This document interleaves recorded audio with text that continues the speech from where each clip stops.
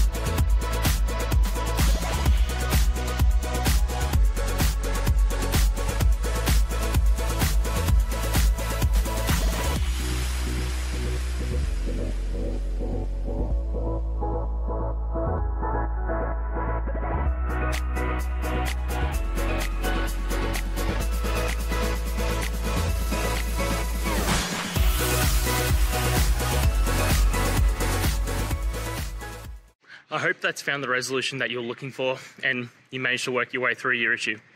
Please, if it did help, hit subscribe. I'd really appreciate it. And until the next technical time you need help, have a good one.